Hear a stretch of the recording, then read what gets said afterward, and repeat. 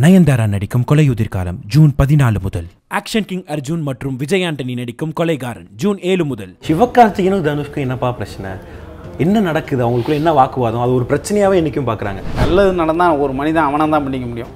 எந்த கெட்டல் நடந்தால் அவன் தான் பண்ணிக்கணும். அதில் பார்த்தீங்கன்னா அவர் எவ்வளோ ஒரு டக்காலிட்டி டுபாகூருன்றது எழுதியிருப்பார். அவங்க நல்லா இருந்த பிறகு நம்மளை திரும்பி பார்க்காம போகிறோம்னு வச்சுங்களேன். நம்ம வந்து ரொம்ப கஷ்டமாக தான் இருக்கும். நான் தேவையில்லாத யாரையாவது நான் புண்படுத்திட்டேன்னா அவன் வீட்டில் ஒரு நாளாவது போய் நிற்பேன் நான். செல்வரகம் சாருக்கு இருக்கிற ஒரு ஃபாலோவர்ஸும் இப்போ தனுஷ் சார் இருக்கிற ஃபாலோவர்ஸும் ரெண்டு பேரும் எதிர்பார்க்கறது மட்டும் இல்லை அந்த ஹீரோவுக்குள்ள வியாபாரத்தை விட ஜாஸ்தியாக செலவு பண்ணி பண்ண கம்பெனி வந்து ஒன்று பேர். ஒரு நல்லவன் வந்து வாழ்க்கையில் ஜெயி எவ்வளோ ஜெயிக்கிறான்னு தெரியாது. ஆனால் கெட்டவன் கன்ஃபார்மாக ஜெயிச்சிடலாம்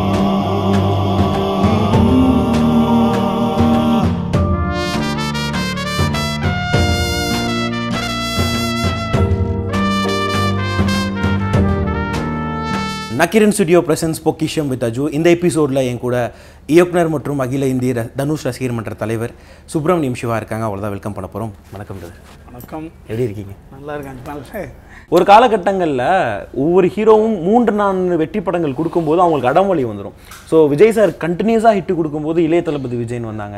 ஸோ அஜித் சார் தீனா படத்தில் தலை அப்படின்ற ஒரு பட்டம் கிடைக்குது. லிட்டில் சூப்பர் ஸ்டார்னு எஸ்டிஆருக்கு ஒரு பட்டம் கிடைக்குது. அப்போ தனுஷ் வந்துட்டு இளைய சூப்பர் ஸ்டார் அப்படின்னு சொல்லிட்டு சில இடங்கள்ல எல்லாருமே பதிவு பண்ண ஆரம்பிச்சாங்க. ஆனால் இன்னைக்கு வரைக்குமே படத்தோட டைட்டில் கார்டு போடும்போது தனுஷ் இன் அப்படின்னு தான் வருது. அது ஒரு டோட்டலாக அது விரும்பலையா? இன்னைக்கு சில ஹீரோஸ்லாம் எடுத்துட்டாலுமே அந்த டைம்லேயும் அவர் அதை எந்த இடத்துலையுமே படங்களில் அதான் பயன்படுத்த இந்த மாதிரியான அடைமொழிகள் கொடுக்கறது வந்து ரசிகர்களாக விரும்பி கொடுக்கறது தான் எந்த ஒரு ம ஒரு நடிகரும் தனக்கு பட்டத்தை தானே போட்டுக்கிறது இல்லை அப்படி நான் கேள்விப்பட்டதில்லை. அது போட்டுக்கிட்டாங்கன்னா எனக்கு தெரியாது.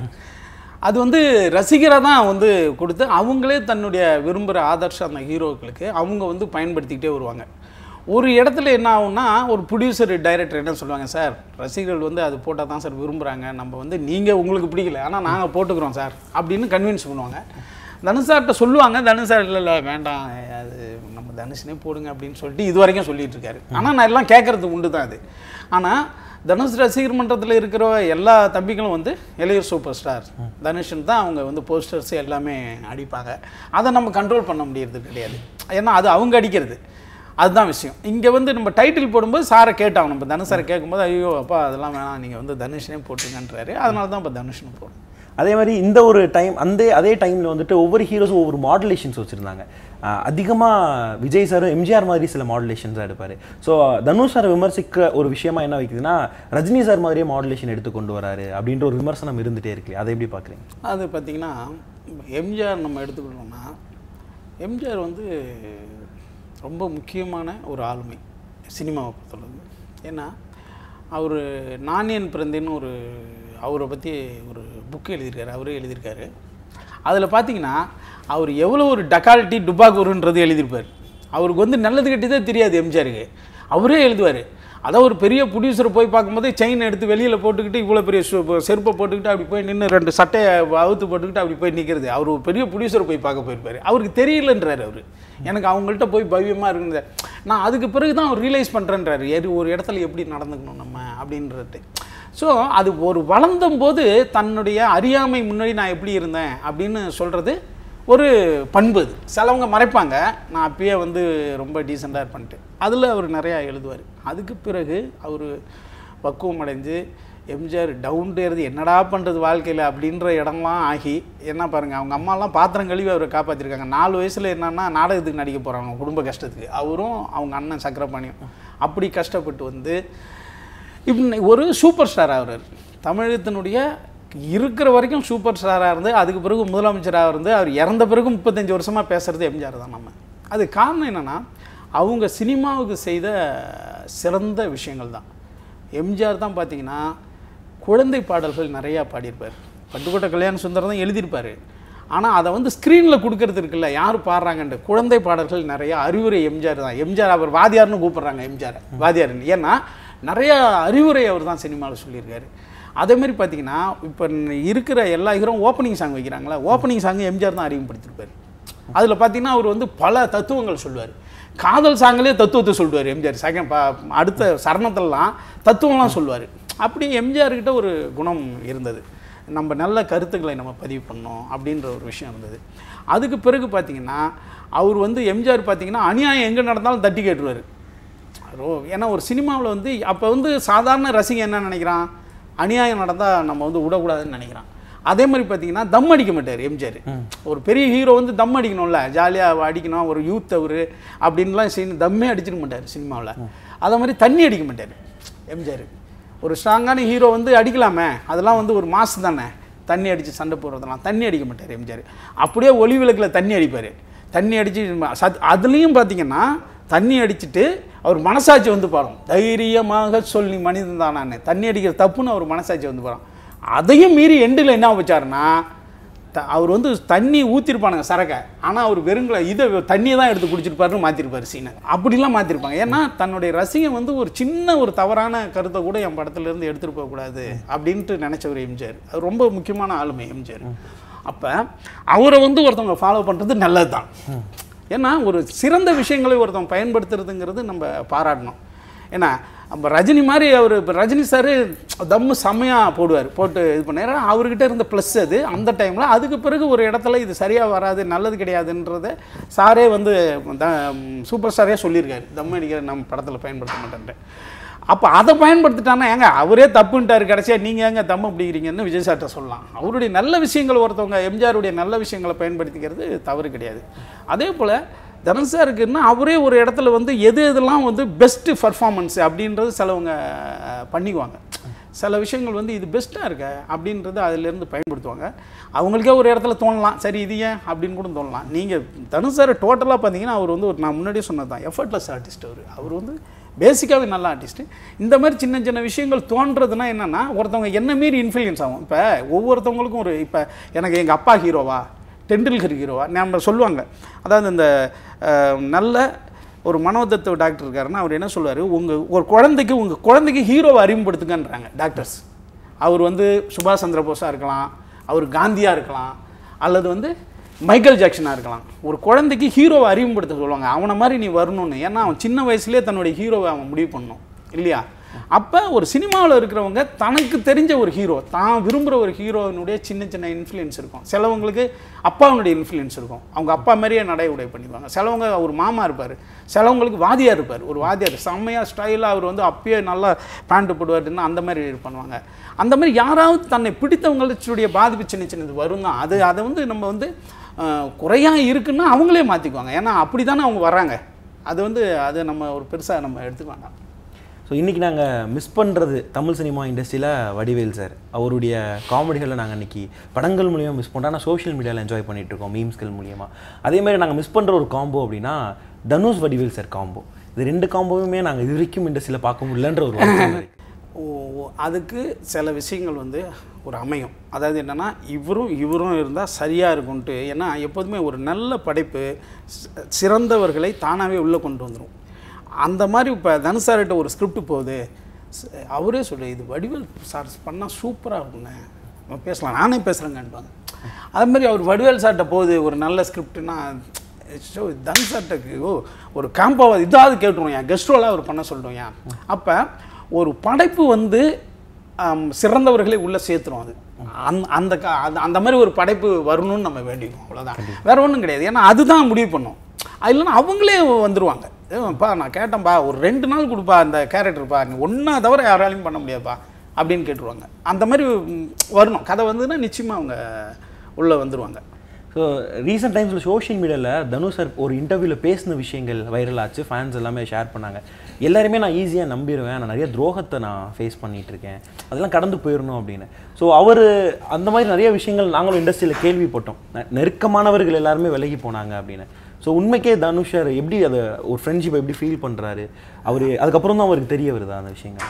இப்போ ஒரு விஷயந்தான். நம்ம வந்து லைஃப்பில் எல்லாருமே என்ன நினைக்கிறோம்? ஒருத்தவங்க நல்லா இருக்கணும் அப்படின்னு நினைக்கிறோம்.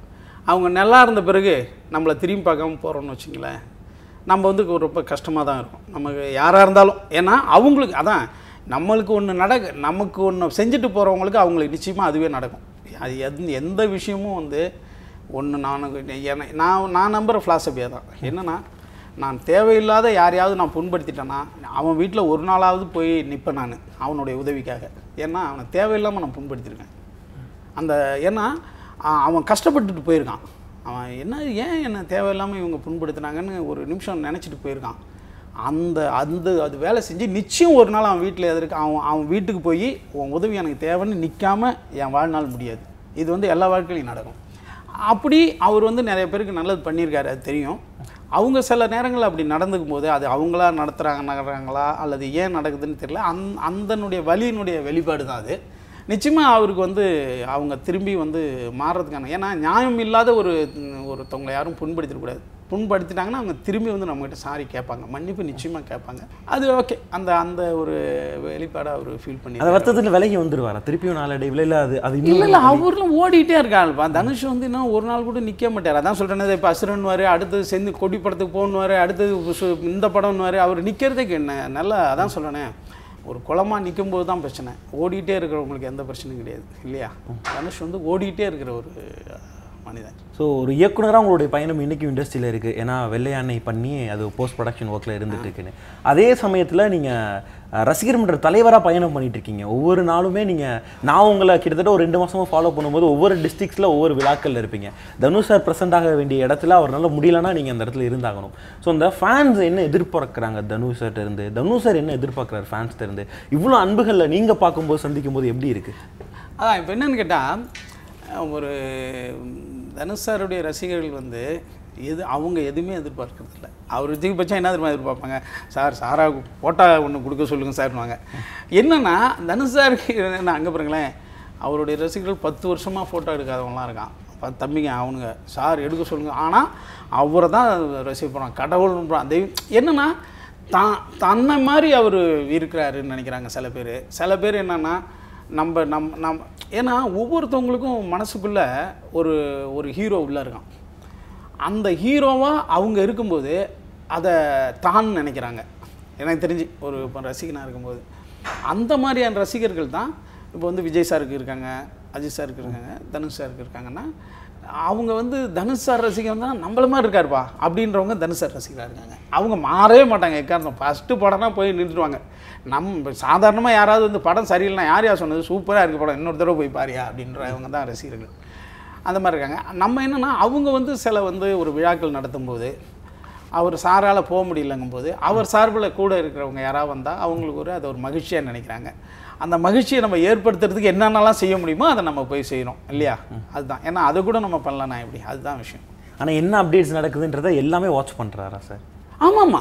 எல்லாமே வாட்ச் பண்ணுவாங்க. இப்போ நம்ம போகிறோம்னா வந்து சொல்லுவோம். அதே போல் நம்ம ஒரு இன்னும் ஒரு இன்விடேஷன் கல்யாண பத்திரிக்கைன்னா அவர்கிட்ட தான் நம்ம கொடுக்க சொல்கிறோம் அவர் சொல்லுவார் எனக்கு வேலை இருக்குது அண்ணன் வருவாங்க அப்படின்னு சொல்லுவார். நம்ம போயிட்டு வரோம் நம்ம.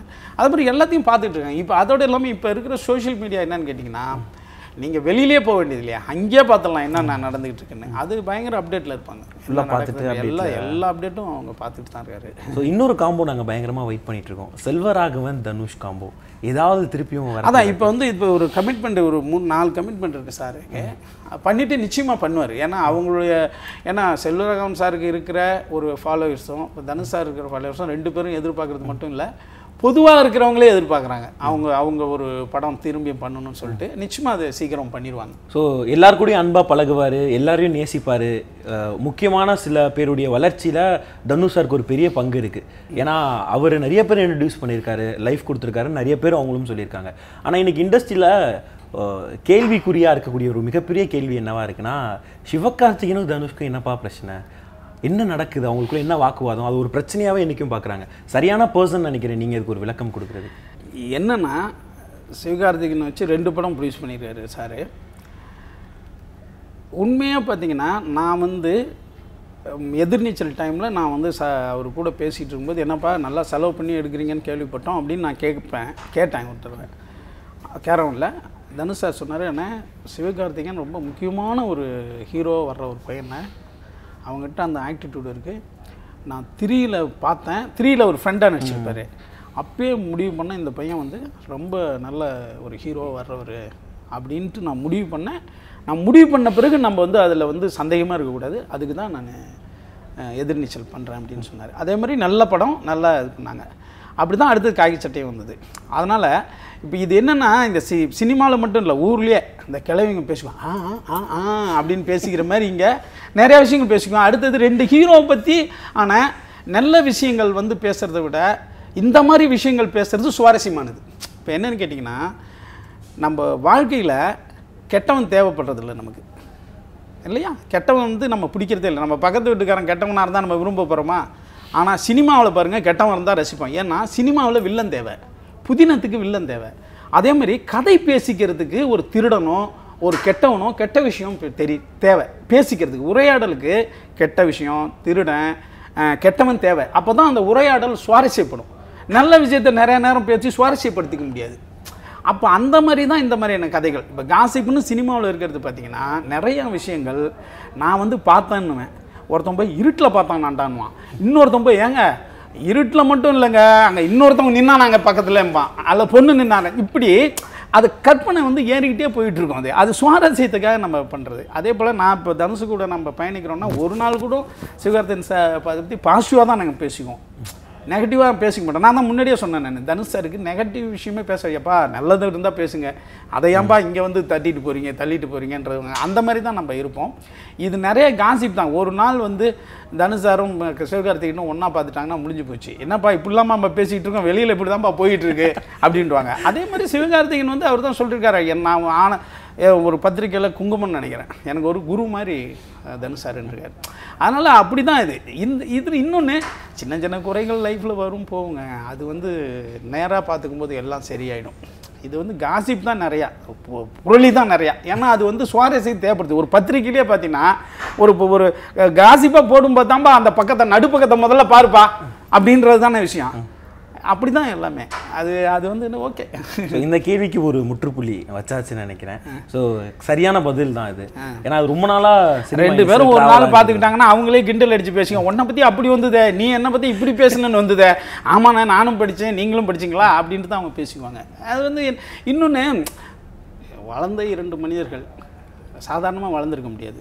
இல்லையா? அவங்கள்ட்ட நிறைய ப்ளஸ் பாயிண்ட் இருந்திருக்கும். இல்லையா? அப்படி தான் வளர்ந்துருக்காங்க. நம்ம பேசிக்கிறவங்களுக்கு அது தேவைப்படுது. அது வந்து ஜா- சந்தோஷமா இருக்கு. அவங்களும் சொல்லிக்குவாங்க. பரவாயில்லப்பா நம்மளை பற்றி ஏதோ ஜாலியாக பேசிக்கிறாங்கப்பா பேசிட்டுமா அப்படின்ட்டு ஸோ அதே மாதிரி தனுஷ் சாருக்கும் ரஜினி சாருக்கும் இருக்கக்கூடிய அந்த ரிலேஷன்ஷிப் வந்து நாங்கள் நிறைய மேடைகளில் அன்பாக ஷேர் பண்ணதையும் நாங்கள் பார்த்துருக்கோம். ஸோ அந்தளவு ரொம்ப பிடிச்ச ஒரு மனிதர்னா ரஜினி சார் தனுஷ் சார் நிறைய இடங்களில் சொல்லியிருக்காரு. ஸோ காலா படத்தை தயாரிக்கிறதுல எவ்வளோ சந்தோஷமா இருந்தார் தனுஷ் சார்? அதான் இப்போ தனுஷ் சார் வந்து என்னன்னு கேட்டிங்கன்னா அவர் வந்து ஒரு இண்டிவிஜுவல் அதாவது அவர் சம்பாதிக்கணும் அவரே செலவு பண்ணணும். அதை தான் நினைப்பார். என் நான் பர்சனலாக பக்கத்தில் உட்காந்து பார்க்குறதுல காலா படம் வந்து என்னென்னா அவர் விருப்பப்பட்டாரோ இல்லையோ மற்றவங்க சாரை வச்சு ஒரு படம் பண்ணணும் சாரை வச்சு ஒரு படம் பண்ணணும். ஏன்னா ஒன்றரை பார் எல்லா ஹீரோவும் வச்சு பண்ணிட்டாங்க. இன்னும் சொல்ல போனால் அந்த ஹீரோவுக்குள்ள வியாபாரத்தை விட ஜாஸ்தியாக செலவு பண்ணி பண்ண கம்பெனி வந்து ஒன்று பார். ஏன் ஒரு ஹீரோ வந்து ஒரு பிஸ்னஸ் இருப்பார் அதை விட ஜாஸ்தியாக பண்ணுவாங்க. செலவு பண்ணி பண்ண கம்பெனி ஒன்று பார். அப்படி இருக்கும்போது தனு தனுஷ் சாரில் நம்ம ரஜினி சாரையும் வச்சு ஒரு படம் பண்ணோம் அப்படின்ற ஒரு ஒரு எல்லாருக்கும் உள்ள ஒரு இதுதானே ஒழிய அவரை வச்சு பண்ணணுன்றதெல்லாம் தனுஷ் சாருக்கு பெரிய இது கிடையாது. ஆனால் அப்படி வச்சு ஒன்று இப்போ சாரையும் வச்சு ஒன்று பண்ணணும்னு ஆரம்பிக்கப்பட்டது தான் அது வந்து ரஞ்சித் அதுக்கு முன்னாடி நம்ம கபாலி கொடுத்துருந்தாரு. சேம் காம்பினேஷன்னா ரஜினி சாருக்கும் கம்ஃபர்ட்டாக இருக்கும் அப்படின்ற ஒரு விஷயத்தில் ஆரம்பிக்கப்பட்டது தான் அந்த படம். ஸோ திருடா திருடில் ஆரம்பித்த இயக்குனர் பயணம் தொடர்ந்து இன்னைக்கு வரைக்கும் ட்ராவல் ஆகிட்டே தான் இருக்குது என்ன நடுவில் நடுவில் சில பல பொறுப்புகள் வந்தனால நீங்கள் இயக்குனர் பணியை கொஞ்சம் தாமதமாக தள்ளி வச்சிங்கன்னு தான் சொல்லணும். வெள்ளை யானை அப்படின்னு சொல்லிட்டு படம் பண்ணி போஸ்ட் ப்ரொடக்ஷனில் இருக்குது ஸோ இந்த பொறுப்புகள் வந்தனால நிறையா இந்த சினிமாவில் ட்ராவல் பண்ணுற தனுஷ் கூட ட்ராவல் பண்ணுறனால ஒரு ப ஒரு லேக் இருந்ததா இயக்குனர்? இல்லை இல்லை இல்லை. எங்கே பாருங்களேன் ஒரு விஷயந்தான் நல்லது நடந்தால் ஒரு மனிதன் அவனாக தான் பண்ணிக்க முடியும். எந்த கெட்டல் நடந்தால் அவன் தான் பண்ணி நன்றும் தீதும் பிறர் தர வார. குறைகளுக்கு எல்லாமே நம்ம நான் தான் காரணமாக இருக்க முடியுமா ஒளிய வேறு எதுவும். கேப்புக்கும் நான் தான் காரணம். சோம்பேறியாக இருந்திருப்பேன். வேறு என்ன இருந்திருப்போம்? இருப்போம் சரி ரைட்டு. இப்போ வந்து வெள்ளை யானை நம்ம படம் பண்ணுறோம் வெள்ளை யானை முழுக்க முழுக்க வந்து ஒரு ஒரு கிரா ஒரு ரிமோட் வில்லேஜ் ஒரு சிறந்த ஒரு நகரம் வளர்ந்த நகரம். இந்த ரெண்டு இடத்துலையும் கதை நடக்குது. அந்த கதை மந்தர்கள் இந்த ரெண்டு இடத்துலையும் பயணிக்கிறாங்க. இது வந்து பேக்ரவுண்டாக உள்ளது. கதை வந்து என்னன்னு கேட்டிங்கன்னா ஒரு ஒரு விவசாய கிராமம் செழிப்பாக இருக்கும்போது என்ன இருக்குது அது வறுமையாக இருக்கும்போது என்ன இருக்குது இந்த இந்த இதனுடைய விரிவாக்கம் தான் அந்த இது. இதை வந்து ஹியூமராகவும் பாடல்களோடும் சொல்லியிருக்கோம். படம் வந்து முழுக்க முழுக்க ஹியூமராக இருக்கும் படம். அதே மாதிரி பாடல் இருக்கும். பாடல் நாலு பாட்டு இருக்குது ரெண்டு பிட் சாங் இருக்குது ஒரு மியூசிக்கல் பிட் இருக்குது படம் வந்து மியூசிக்கலாகவும் ஹியூமராகவும் காமெடியாகவும் இருக்கும். அந்த காமெடி வந்து நம்மளுக்கு வந்து பாதிப்பை ஏற்படுத்தும். ஐயோ என்னடா அவன் ஜாலியாக காமெடி பண்ணுறானுங்க நமக்கு ஒரு வருத்தமாக இருக்குன்ற மாதிரியான ஒரு படம் அது. காமெடி வருத்தத்தை ஏற்படுது ஆமாம்மா. அதான் என்னன்னு கேட்டால் அதான் சொல்கிறேனே நம்ம கீ கீழே தடிக்க விழுவான் இங்கே சிரிப்பான் ஒருத்தவன். நல்லா நினச்சி பாருங்களேன். தடிக்கி விழுறவனுக்கு காமெடி நமக்கு. அப்படி ஏன்னா அவன் விழுறது காமெடியாக இருக்குது நமக்கு. ஆனால் அந்த சம்பவம் வந்து அந்த சோகம் அது. இல்லையா? ஆனால் குழந்தை மட்டும்தான் தடிக்கி விழுந்துட்டு சுற்றி பக்கம் ஒருவன் பார்த்துட்டானா அழுவும் அது. பார்க்க வேணாம் தொடச்சிட்டு போயிடும். இல்லை? சரி அந்த மாதிரி அது. அதாவது ஒரு தாத்தா வந்து தன்னுடைய சோகத்தை அதான் ஆனந்த விடணும் ஒரு தாத்தா வந்து சோ அவருக்கு நடந்த சோகத்தை நம்மளுக்கு சொல்லுவார். ஆனால் நம்மளுக்கு சிரிப்பாக இருக்கும். ஆனால் அவர் பதினஞ்சு வருஷத்துக்கு முன்னாடி நடந்த சோக சம்பவத்தை தான் சொல்லியிருக்காரு. அந்த மாதிரி தான் இருக்கும் படம். ஸோ கதை திரைக்கதை டெக்னிக்கல் அதாவது ஸ்டோரியா ஸ்க்ரீன் பிளேவா டெக்னிக்கலா இந்த மூணு விஷயத்துல எது ஸ்ட்ராங்கா இருக்கும் வெள்ளையானே இப்போ நான் வந்து அதில் ஒரு ஒரு இய- இயக்குனராக வந்து நான் என்னென்னா இந்தியாவினுடைய முக்கியமான படமாக இருக்கிறதுக்குல வாய்ப்பு இருக்குது நான் நான் நினைக்கிறேன். ஏன்னா இதை வந்து நினைக்கிறேன்னு எதுக்கு சொல்கிறேன்னா பார்க்குற நீங்கள் சொல்லணுன்றதுக்கு தான் அந்த ஃபேஸ் விட்றேன். ரொம்ப இந்தியாவினுடைய முக்கியமான படமாக இருக்கும். தமிழ் சினிமாவினுடைய ரொம்ப முக்கியமான படமாக இருக்கும். அடுத்தது இன்றைக்கு இருக்கிற சமூக சூழலை நான் ஒரு அதனுடைய பேக்ட்ராப்பில் சொல்லிகிட்டே வருவேன். அதாவது என்னென்னு கேட்டால் ஒரு நல்லவன் ஒரு நல்லவன் வந்து வாழ்க்கையில் ஜெயி எவ்வளோ ஜெயிக்கிறான்னு தெரியாது. ஆனால் கெட்டவன் கன்ஃபார்மாக ஜெயிச்சிடலாம். ஆனால் எல்லாரும் கெட்டவன் ஆகணும்னு நினைக்கிறது கிடையாது. இந்த மாதிரியான யதார்த்தம் இருக்குல்ல? நினச்சி பாருங்களேன் உங்கள் வாழ்க்கையில் கெட்டவன் ஜெயிச்சிருவாங்க. ஆனால் நல்லவன் வந்து கடைசி வரைக்கும் என்ன அவனுக்கு ஒரு வீடு கட்டணும் தான் பொண்ணன் பொண்ணை வந்து கல்யாணம் பண்ணி கொடுக்கணும் தான் பையனை ஒரு வேலைக்கு போய் வைக்கணும். இதுதான் அதிகபட்சம் நல்லவனுடைய தேவையாக இருக்குது ஆனால் கெட்டவன் வந்து டக்கு டக்குன்னு முன்னேறி போயிட்டே இருக்கான். இது யதார்த்தமாக இருக்குது ஆனால் எல்லா நல்லவன் நல்லவனும் கெட்டவன் ஆகணும்னு ஆசைப்படுறது கிடையாது. இதில் ஒரு எவ்வளோ யதார்த்தம் இருக்குது இந்த மாதிரியான விஷயங்கள்லாம் அந்த படத்தில் நம்ம வந்து டிஸ்கஸ் பண்ணுறோம் இந்திரா ப்ராஜெக்ட்ஸ் உங்கள் கனவு எங்கள் லட்சியம் Don't give one rupee more.